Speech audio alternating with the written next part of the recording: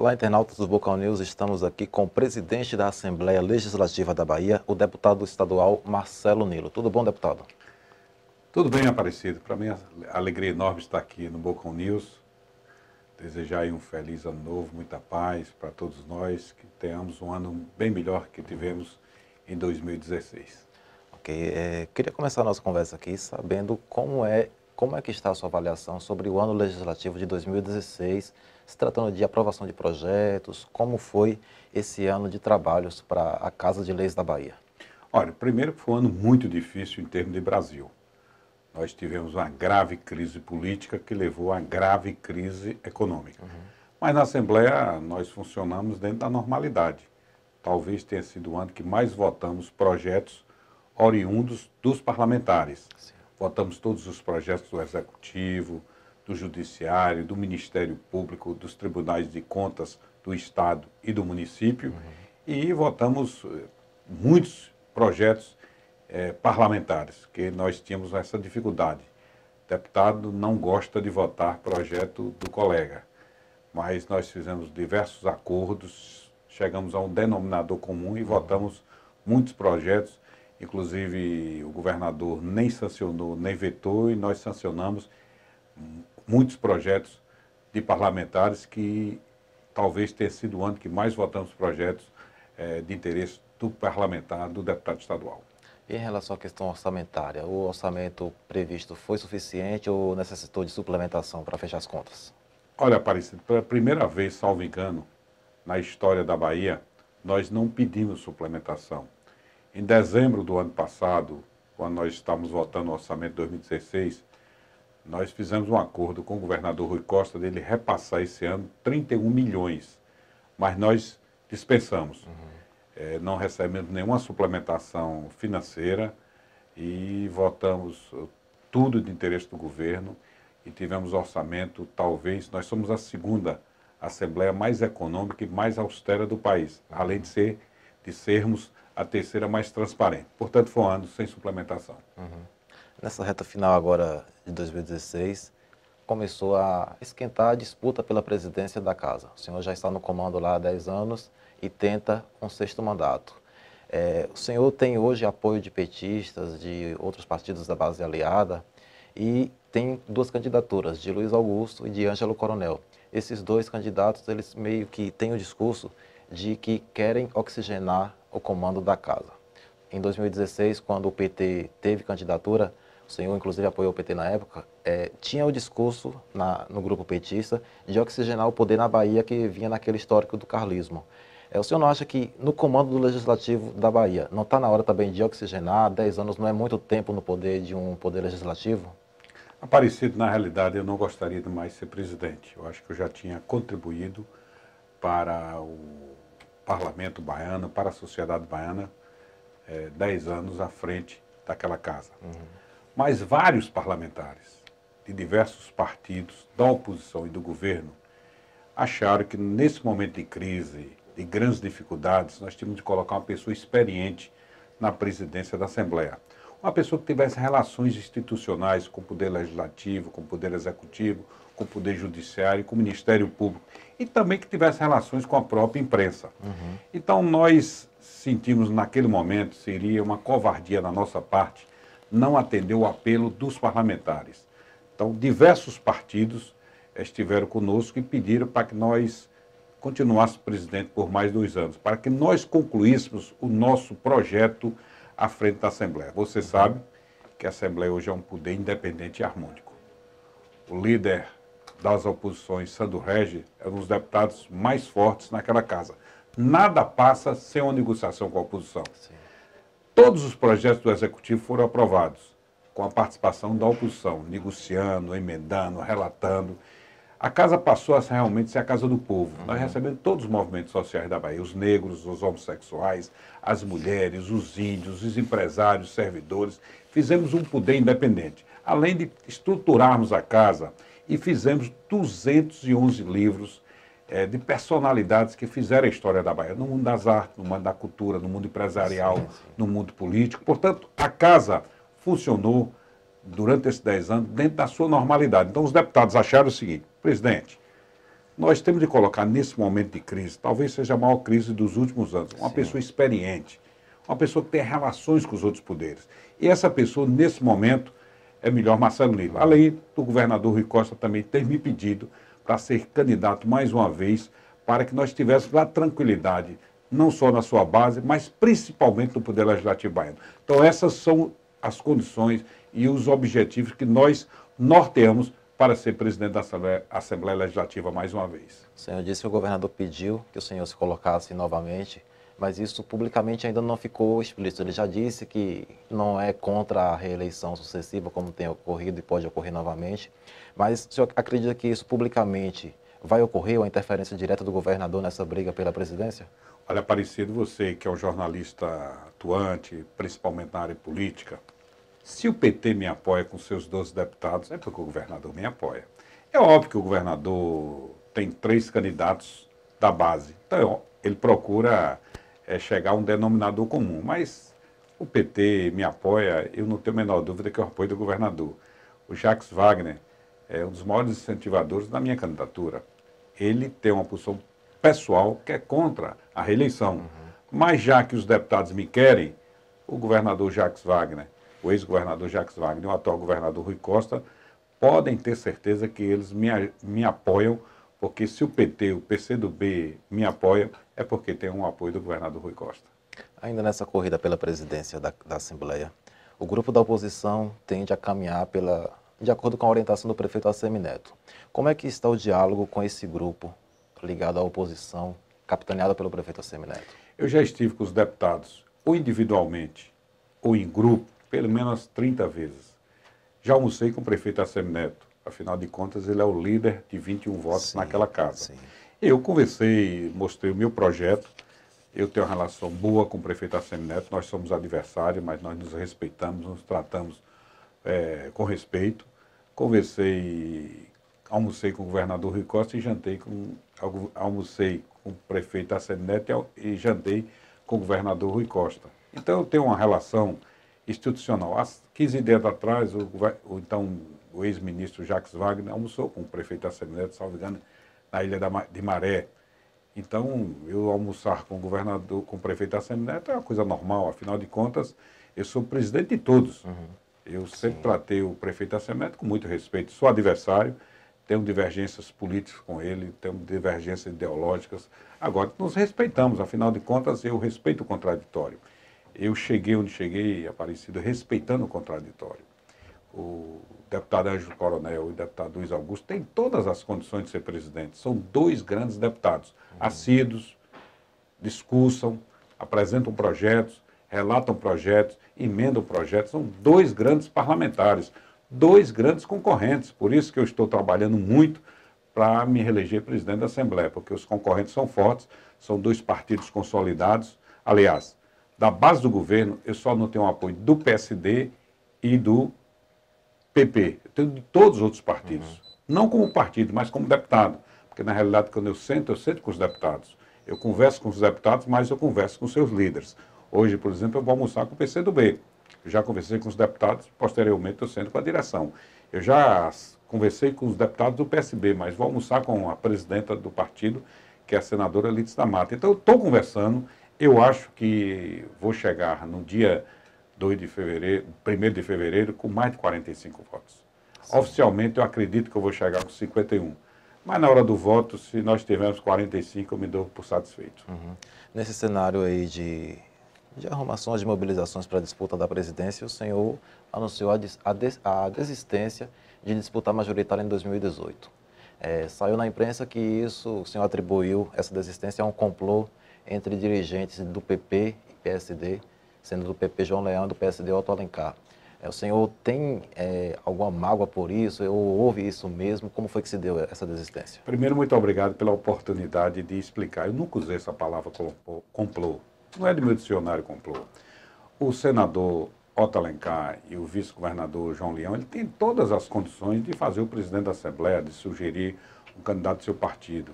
Não existe nenhuma mágoa, não existe nenhum ressentimento. Eu acho que é um direito dos partidos lançarem os seus candidatos. O que eu disse é o seguinte: a decisão da majoritária vai ser em março de 2018.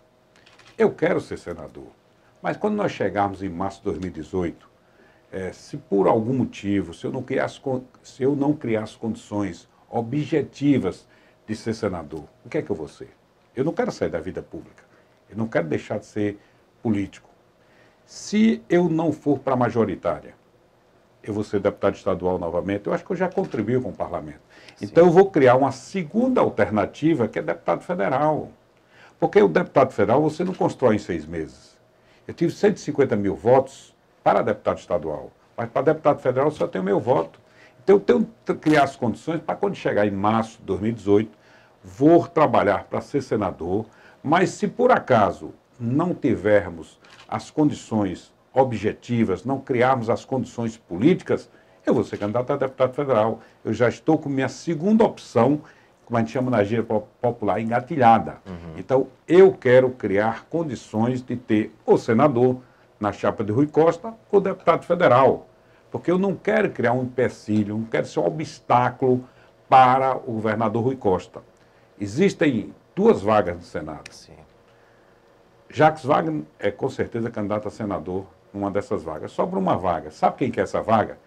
O deputado Marcelo Nilo, o PSD do senador Alencar, o PP do vice-governador João Leão, a senadora Lindes da Mata, o senador Walter Pinheiro e provavelmente o senador Roberto Muniz. Sim. Então nós teremos cinco ou seis candidatos para uma vaga só. Então eu tenho de criar uma segunda alternativa.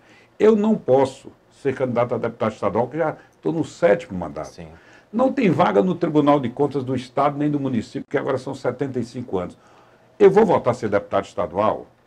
Eu acho que não tem mais sentido, depois do sétimo mandato parecido, você voltar para ser parlamentar estadual. Então, está na hora de eu contribuir com a política nacional. Então, eu quero ser senador e ter como segunda opção deputado federal. Porque deputado federal, eu tento fazer as negociações. Tem município, por exemplo, Iramaia vota comigo para estadual e vota para federal com Valmir Assunção. Sim.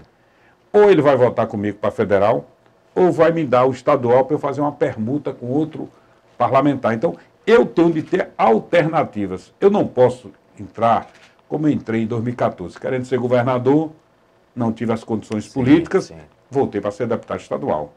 Ou seja, comecei novamente uma carreira que foi iniciada há 26 anos atrás.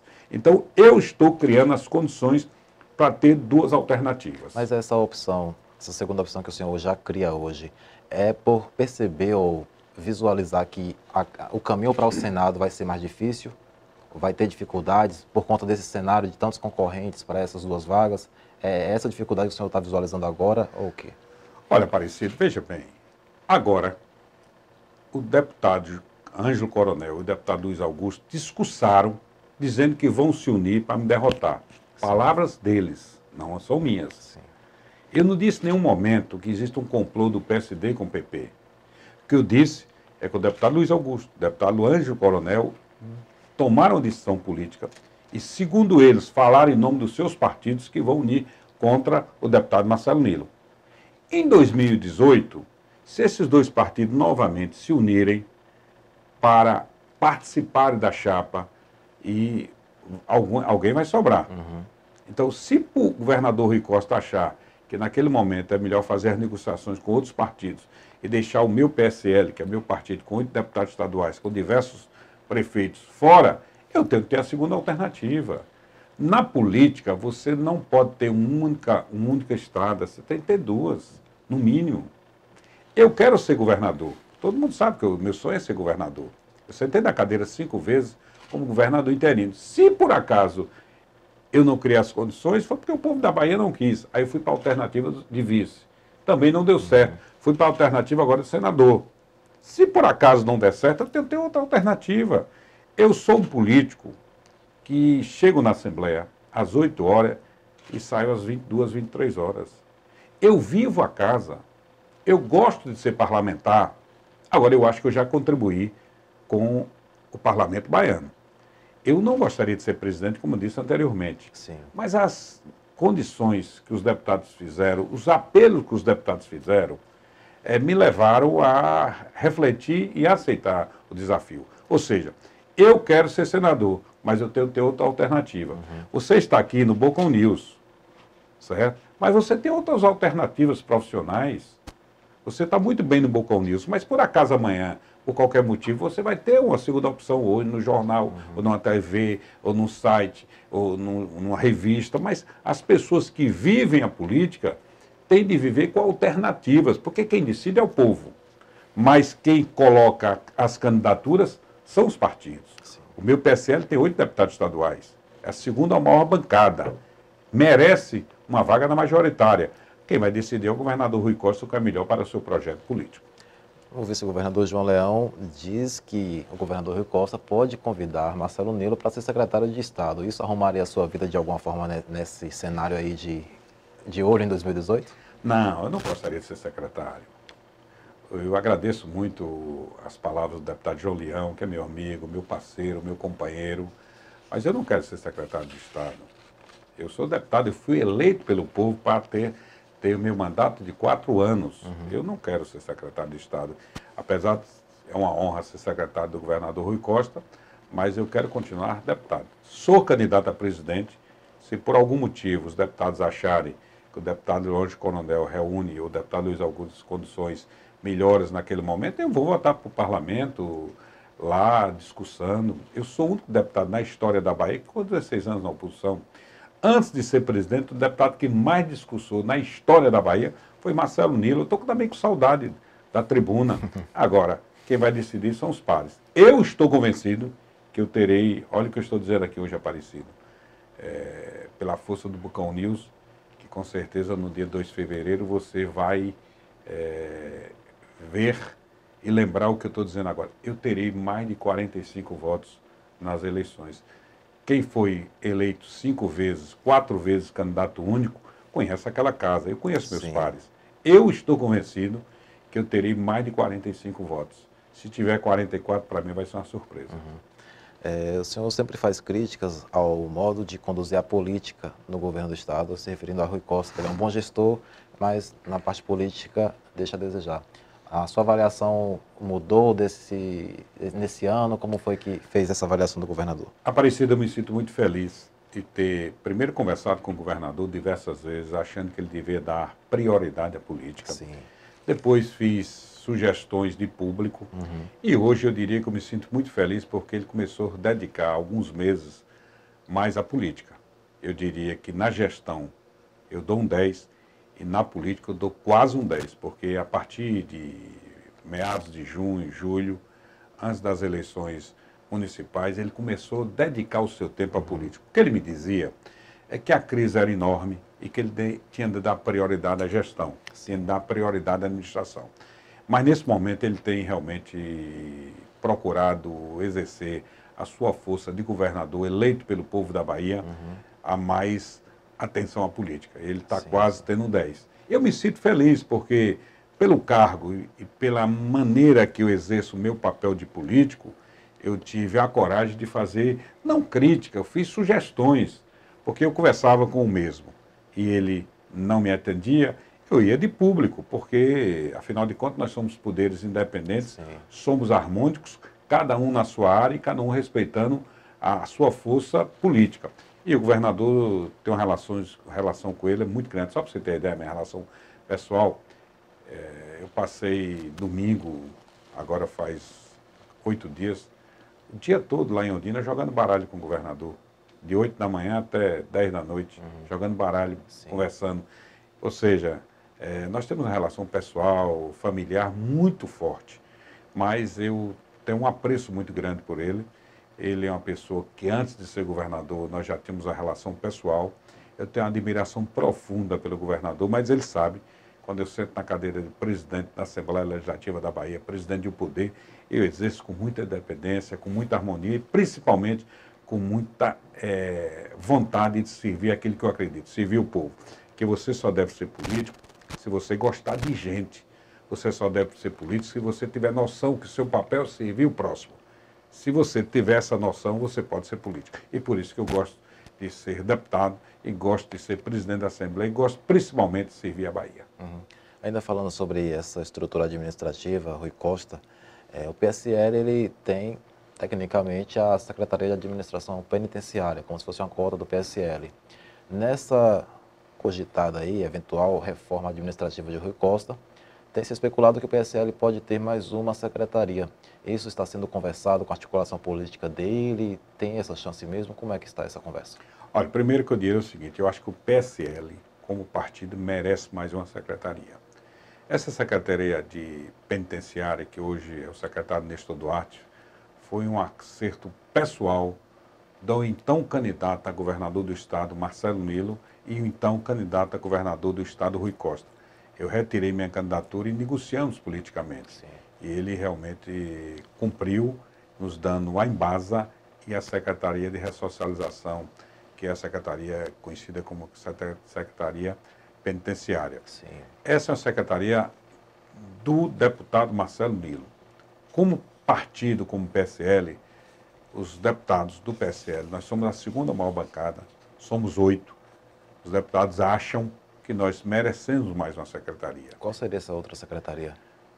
Vai ser a critério do governador. Eu acho que ele que é o governador, ele que sabe o time, sabe qual é a secretaria deve oferecer à PSL. Se ele oferecer a secretaria X, nós vamos indicar um perfil X. Se ele uhum. oferecer a secretaria Y, nós vamos oferecer um, uma pessoa com perfil Y. Ou seja, ele que é o governador, ele que tem de dizer o que deve dar ao PSL. Agora, como presidente de um partido, como presidente da segunda maior bancada, eu acho que o PSL merece mais uma secretaria. Se tem partido que tem cinco deputados, tem duas secretarias, Sim. então nós somos oito, não podemos ficar com uma.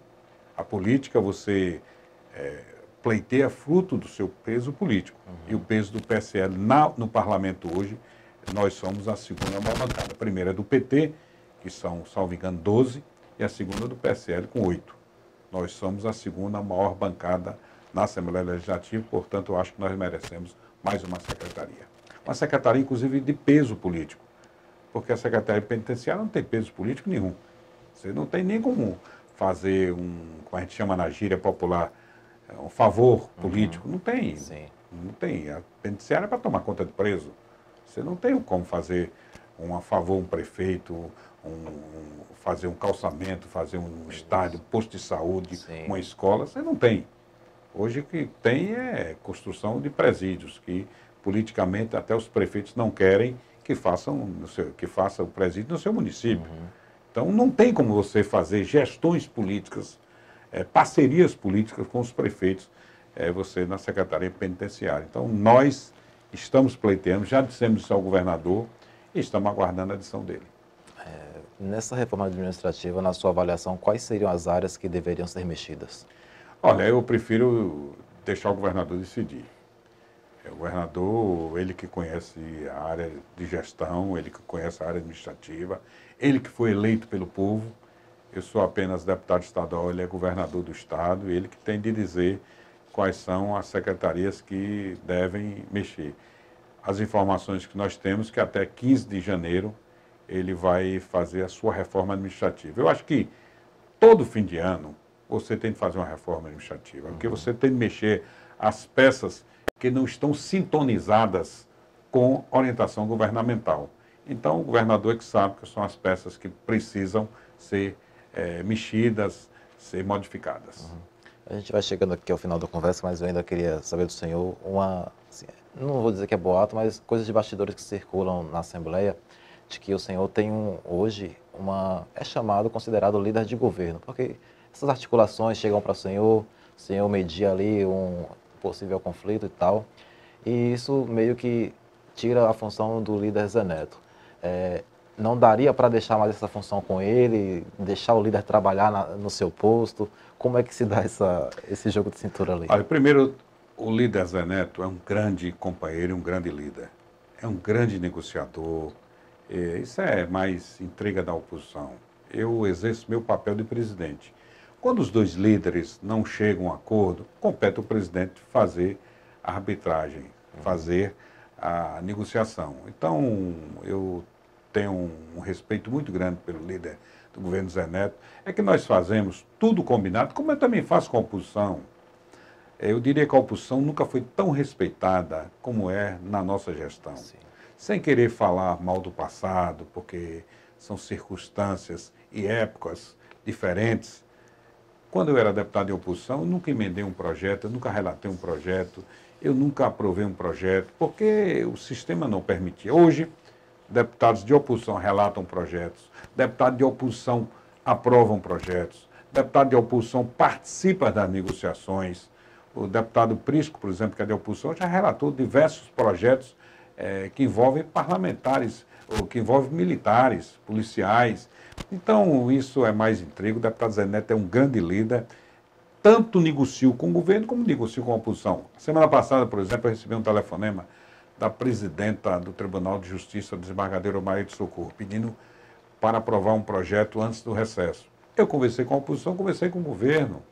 É que o governo tem uma sintonização mais próxima comigo do que a oposição. Sim. Então, quando eu converso com o deputado Zé Neto, ele já sabe o que eu penso, eu já sei o que ele pensa. Uhum. Quando eu converso com o deputado Sandro Regis, que foi um grande líder, a oposição é muito aguerrida e o governo tem uma base muito consolidada. Não existe isso. O que existe, cada um no seu galho, cada um na sua árvore. Agora, quando ele não chega a um acordo, pode ter certeza que eu exerço meu papel de negociador. Uhum.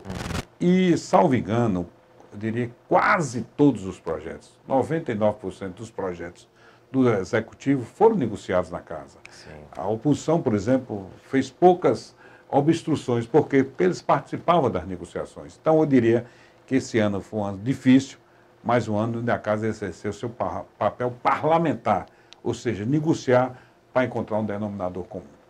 Ok. A gente fica por aqui. Agradeço ao presidente aqui pelo bate-papo com a gente e até uma próxima.